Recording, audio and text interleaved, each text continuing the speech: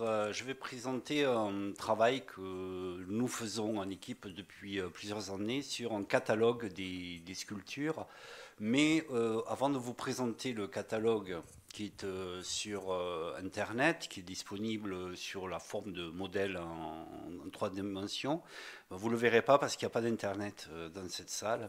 Mais ce qui est, c'est assez intéressant parce que je vais voir plutôt la partie à la fois théorique et puis les exemples et les découlements historiques qu'on retire de cette, de cette recherche, qui est collective.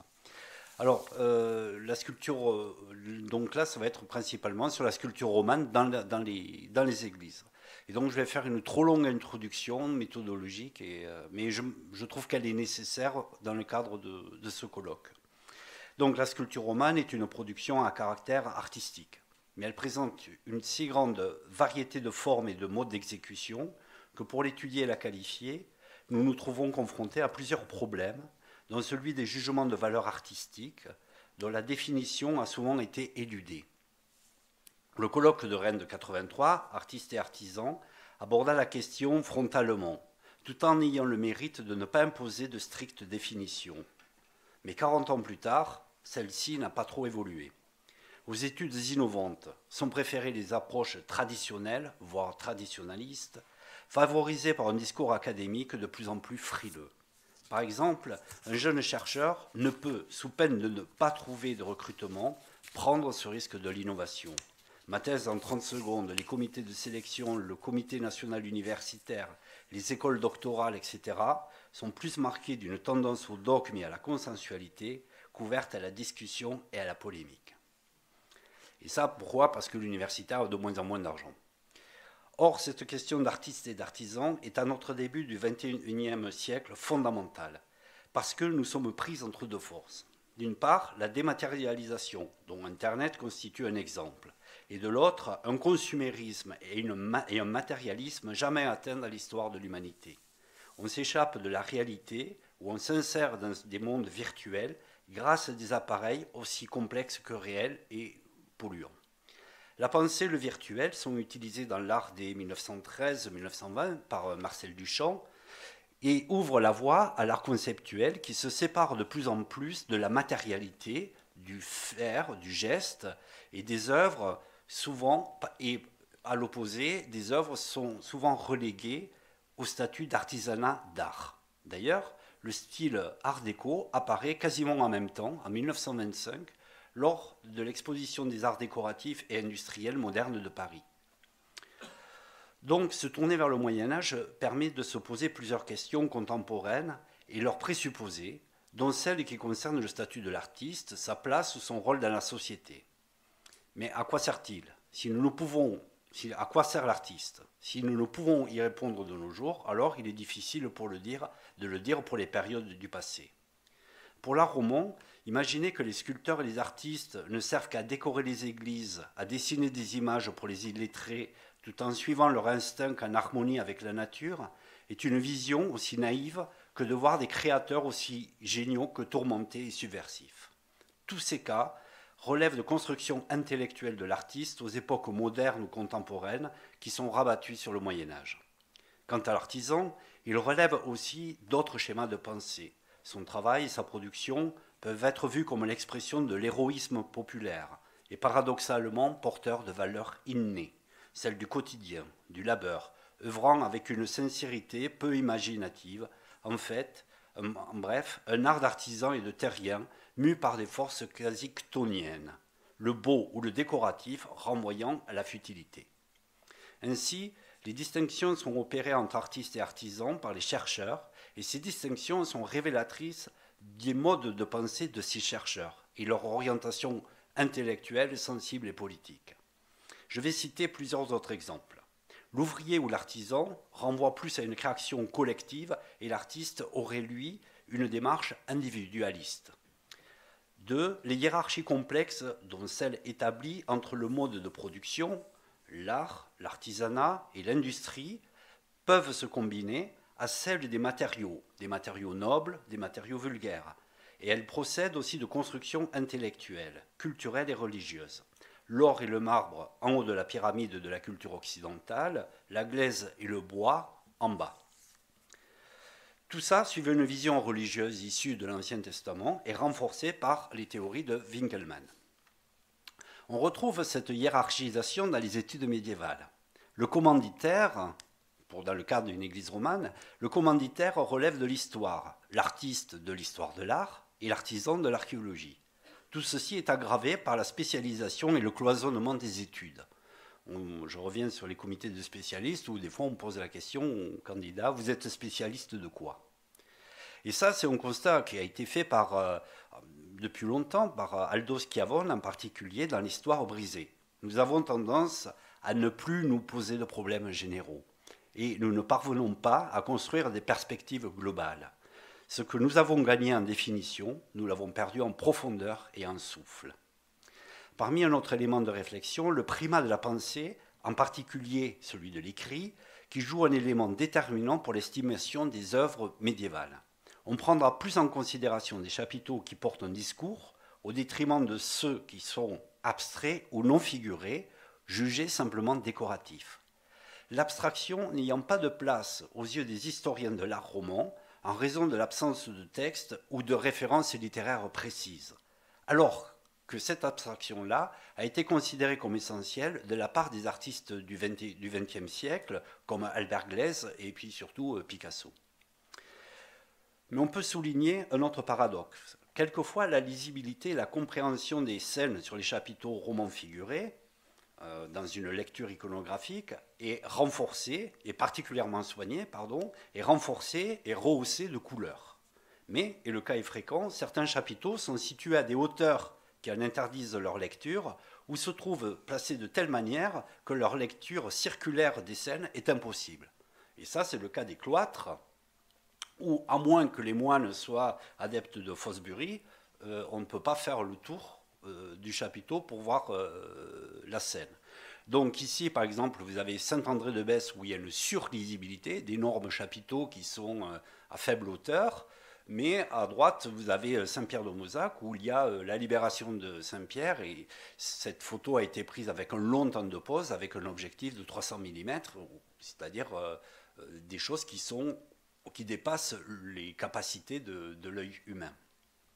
Idem pour euh, les cloîtres, ces chapiteaux ont des scènes qui sont continues sur les quatre côtés du, chapiteau, mais il y a le mur bahut qui, euh, qui à moins qu'ils aient la jambe leste, mais bon, on peut pas, enfin, le moins monial.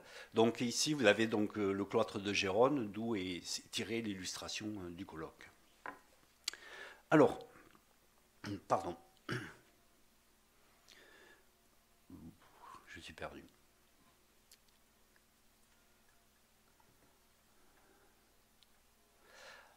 Euh, quant à l'organisation iconographique d'une église, le programme iconographique, beaucoup de chercheurs proposent un schéma général induisant de ce fait qu'on ait respecté un programme initial au cours de toutes les étapes constructives de la construction d'une église.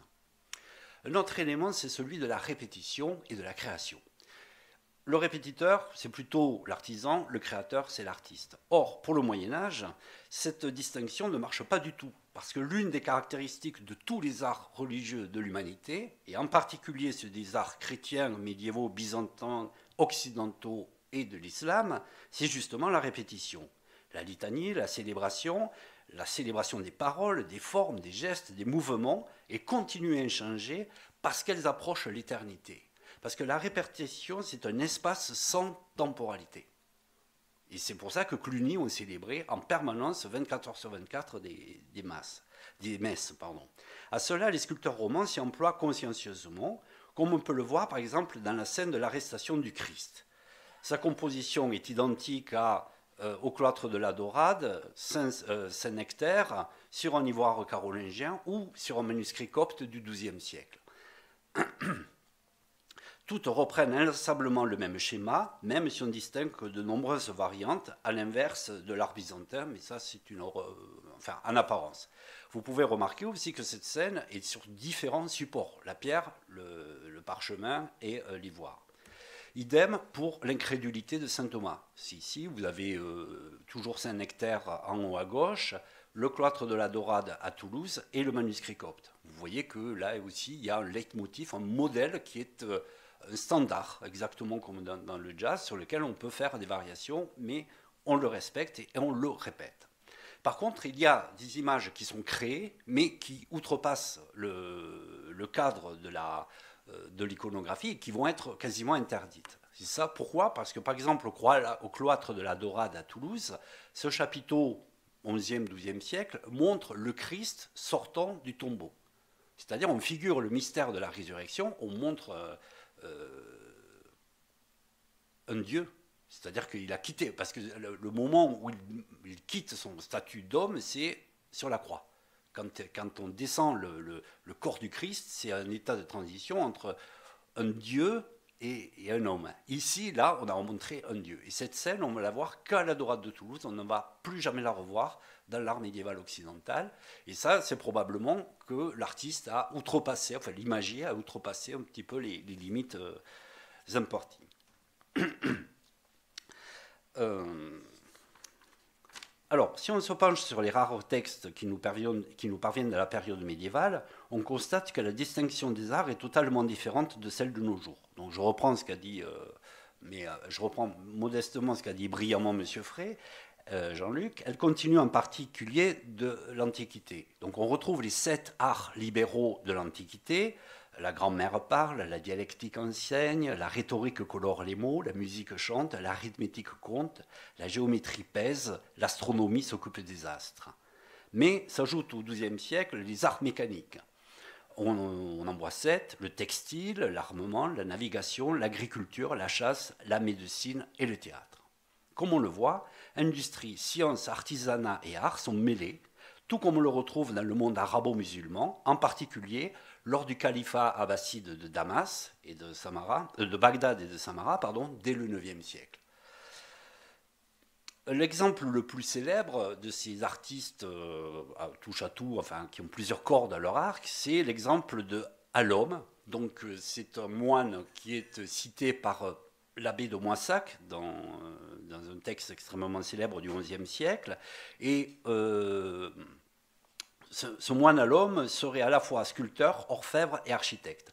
Il aurait construit la cathédrale de Clermont-Ferrand et il aurait réalisé la Vierge en Majesté que vous voyez ici sur la visio de, Robert de Mozac, qui est conservé à la bibliothèque municipale de Clermont-Ferrand et qui a été et qui est considéré comme le prototype ou l'archétype de toutes les Vierges en Majesté qu'on trouve en Auvergne, dont euh, l'adorable Vierge de Saint-Julien de Choria. Mais c'est un modèle beaucoup plus ancien, puisque à gauche, vous avez donc euh, une Théotokos, une Vierge en majesté qui est à Sainte-Sophie d'Istanbul, probable, après la période iconoclaste, c'est-à-dire au IXe siècle.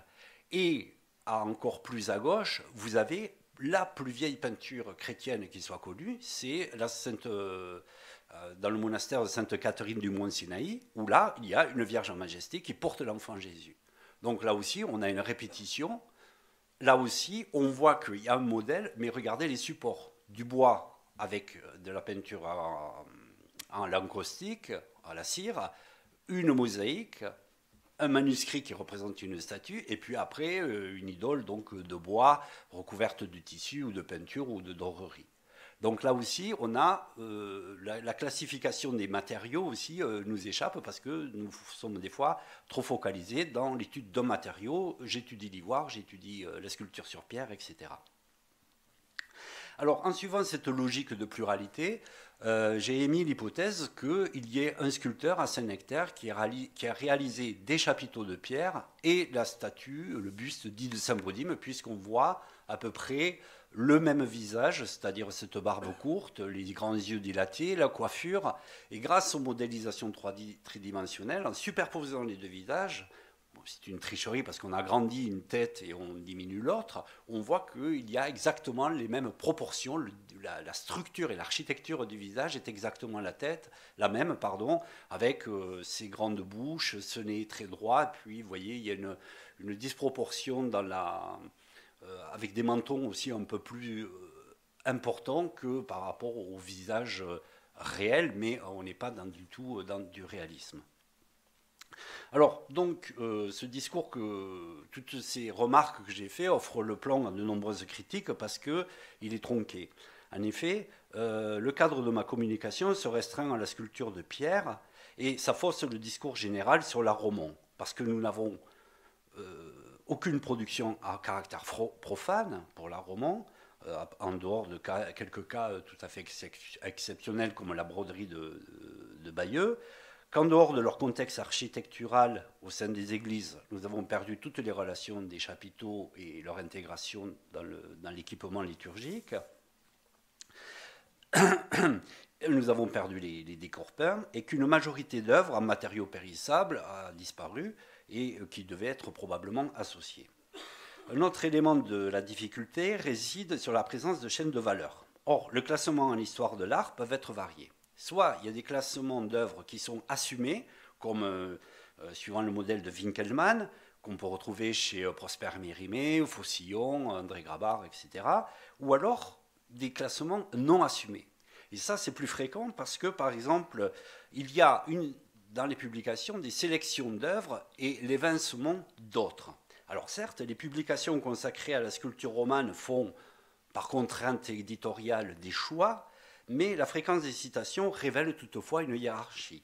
Un certain type de production est souvent mentionné et d'autres sont passés sous silence, en particulier les chapiteaux à décors végétaux ou abstraits. Ou alors ils font l'objet d'études purement spécialisées. Je pense à la, thèse stupéfiante qu'a fait euh, Laurence Cabrero-Ravel sur les chapiteaux végétaux de Notre-Dame-du-Port. Bon, C'était une thèse tout à fait remarquable. Donc il en, résulte, une cartographie des goûts et des choix. On retrouve le classement euh, des églises majeures d'Auvergne, mis en place dès 1947, où on parle de cinq ou sept églises, mais elles oblitèrent tout le reste des monuments du, territoire. Donc vous voyez ici sur la carte euh, les cinq églises majeures, et puis les autres points rouges, ben, c'est celles qui sont en dehors des circuits euh, touristiques, et c'est tout à fait regrettable. À l'opposé, les catalogues et les inventaires exhaustifs se révèlent souvent de froides catacombes horizontales sans hiérarchie, ne servant que d'index, sans impliquer le rédacteur. C'est le règne des bases de données de l'archéométrie. Donc, la difficulté reste de réaliser des inventaires exhaustifs associés à des classements typologiques ou, de, de valeurs. En effet, la sélection d'œuvres passe par des critères variables, la technique, le sensible, l'esthétique ou l'iconographique. Mais comme nous l'avons vu, ces choix reflètent en partie les goûts et les motivations des différents chercheurs et des auteurs. Ils constituent aussi des documents historiques. Or, à notre époque de qualification et d'avis en ligne tout craint, il n'est pas impossible d'imaginer un code ou une échelle de valeur artistique ou artisanale d'une sculpture romane. Donc, ce serait bien de mettre en bas de chaque chapiteau des smileys et vous appuyer dessus comme, comme dans les toilettes. Le dernier point repose sur les appréciations chronologiques qui se combinent à la stylistique. Les qualificatifs comme pré-roman, archaïque, roman, roman tardif compliquent aussi les lectures et les analyses. On trouve aussi cet écueil par l'adoption de datations consensuelles suivant le jeu des académismes. Seconde moitié du XIIe siècle, premier tiers du XIIIe, euh, fin euh, quatrième, tiers, quatrième quart du IXe siècle, etc., etc. Tout ça donne des fausses certitudes et des datations proposées, mais qui sont de vrais châteaux de cartes. Les datations par le radiocarbone n'étant pas encore assez considérées en histoire de l'art, ce qui est tout à fait ahurissant. À la suite de ces remarques, il m'apparaît qu'établir un inventaire à la fois exhaustif et critique, euh, j'ai combien de temps? Je ne sais pas. Euh, et donc 20. Pourtant, il m'a paru important d'en proposer, de proposer un inventaire qui rassemble les sculptures des églises romanes au sens le plus large possible, du point de vue chronologique, dans des espaces qui s'ouvrent de plus en plus, en partant d'un centre, puis de Dôme, Cantal, Haute-Loire, Allier, et avec des excursions téméraires en Aveyron. Chaque église fait l'objet d'une approche monographique, historique, chronologie, archéologie du bâti, et d'une cartographie des sculptures. Toutes ces églises sont décrites et toutes les sculptures le sont aussi, leurs dimensions, leurs formes, les motifs, l'iconographie, la présence de différentes mains, les décors peints, leur état actuel. Et cette documentation graphique est associée à des photographies, des dessins et des modélisations 3D. Des regroupements de sculptures sont proposés, confrontés aux chronologies proposées par l'archéologie du bâti et les recherches historiques et en histoire de l'art. Alors, on va voir euh, uniquement trois exemples sur ces regroupements et sur ces cartographies euh, des sculptures. Donc, pour Notre-Dame-du-Port de Clermont-Ferrand, euh, c'est une église qui est fameuse parce qu'elle rassemble des sculptures d'une qualité tout à fait remarquable et souvent c'est la seule église dont on parle en Auvergne enfin, dans les grands euh, ouvrages euh, consacrés à l'Europe romane. Alors, pour Notre-Dame-du-Port, on distingue trois grands ensembles qui s'échelonnent de l'est vers l'ouest. Le premier groupe, c'est le plus ancien. On a construit l'église vers l'Orient et puis on l'a achevé euh, vers l'Occident, avec, donc, premier groupe, un sculpteur sur lequel il y a euh, une sculpture où il y a le nom Robert Tous, donc on l'appelle Robert, euh, ce sculpteur, c'est plus joli qu'on code. Et euh, ce sculpteur est associé à d'autres sculpteurs qui réalisent des chapiteaux végétaux tout à fait remarquables qu'on retrouve à Saint-Nectaire, et aussi des décors animaliers, en particulier des aigles, des oiseaux ou des phénix. Le deuxième groupe, c'est euh, plutôt dans la nef, avec un deuxième chapiteau où il y a euh, le visage d'un homme dans des, végétaux et où il y a le nom de Bernard. Donc voilà, on appelle ce groupe euh, ces sculptures de M. Bernard. Et le Bernard, il a travaillé aussi avec d'autres artistes qui réalisent des chapiteaux caractérisés par la présence de, feuilles de buis. Et enfin, un troisième groupe qui présente peut-être un, affadissement de la, qualité d'exécution qui se trouve vers les parties euh, terminales de l'église, c'est-à-dire vers l'ouest. À Brioude, la répartition est complètement différente. La partie la plus récente, c'est le chevet, c'est le groupe numéro 4, parce que là, il y a un ensemble de sculptures tout à fait remarquables, mais qui sont à cheval entre le roman et le gothique. On est déjà dans une sculpture, euh, une, architecture euh, gothique. Par contre, les parties euh, les plus anciennes, c'est les groupes 1 euh, et 2, c'est-à-dire on part de l'ouest et on va euh, vers l'est. Et là aussi, on retrouve tout à fait un ensemble de, sculpteurs, mais qui sont plus segmentés. C'est-à-dire que chaque fois qu'il y a une tranche de travaux, il y a un ensemble de sculpteurs qui arrivent et qui disparaissent, arrivent d'autres sculpteurs. Donc le groupe 1 est composé de trois sculpteurs, probablement. Le groupe 2, il y a, euh, et le groupe 3 est, le plus prestigieux parce qu'il y a des artistes qui proviennent probablement de Mosaque, Notre-Dame-du-Port, etc. Mais on a des, phases beaucoup plus euh, séquencées. Enfin, pour euh, Saint-Nectaire, là, la combinaison est plus facile à lire. Il y a le bâtiment est construit du haut vers le bas, de l'est vers l'ouest. Et le premier ensemble qui constitue le chevet, le transept et le début de la nef est marqué par la présence de très grands sculpteurs que l'on retrouve en partie à Mozac, à Notre-Dame-du-Port, à Brioude. Et euh, c'est ce fameux groupe 1. Alors là, ce sont des, des, artistes, dont probablement le Bernard dont je parlais tout à l'heure, peut-être euh, Robert de Notre-Dame-du-Port. Et ce sont des artistes lettrés parce que vous voyez que les personnages déroulent euh, de longs euh, rotulus ou des phylactères. Et là, il y a. Euh, enfin, M. Morel, dans sa thèse, a noté qu'ils ne font pas l'objet d'erreurs de graphie, alors que, par exemple, les tailleurs de pierre, quand ils laissent leur marque, leur signe lapidaire, là, il y a des, lettres inversées ou mal écrites, etc. Mais dans la partie centrale de l'église, dans la nef, c'est-à-dire les parties vertes et bleues, là, on arrive au groupe 3 et on voit petit à petit que, euh, enfin, pas petit, pardon, il y a euh, des, productions en série, c'est-à-dire que les chapiteaux sont doubles ou triples, alors que dans la partie euh, du groupe 1, ils sont tous uniques, y compris les chapiteaux végétaux, et on voit un affaiblissement de la qualité, en particulier sur les visages, comme vous voyez sur le chapiteau du groupe 3.